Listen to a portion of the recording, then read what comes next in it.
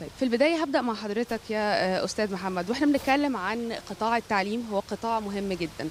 آه، قطاع كمان آه، بيؤثر بشكل مباشر في الإنسان. وإحنا بنتكلم عن هذا القطاع تحديدا. إيه اللي حصل في جنوب سيناء في التعليم تحديدا؟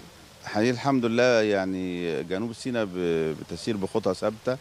بتنفذ خطة الدولة المصرية 2030 في قطاع التعليم. سواء بتطبيق المناهج الجديدة اللي بدأناها من خمس سنوات وصلنا إلى الصف الخامس هذا العام آه، أو في نظام تطوير امتحانات الثانوية العامة وده ماشيين بخطى ثابتة.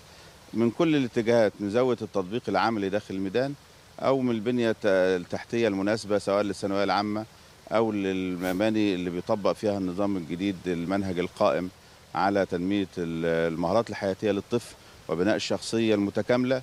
اللي بتمد من خلال المنهج ده بيمدوا مجموعة من المعارف المتكاملة مهم. إلى جانب أيضا بيهتم بزاوية اللي هي بناء شخصية قوية تستطيع إنها تعتمد على نفسها تقدر تفكر ما تحفظ. آه، ده اللي وصلنا ليه السنة دي آه، للصف الخامس. وكان ليه مردود أثر طيب لأن المنهج بيعتمد أصلا على ممارسة الأنشطة آه، من جميع زواياها حسب رغبات الطلاب. ومعد اعداد يتفق مع المعايير العالمية. الحمد لله يعني قطعنا شوط كبير فيه.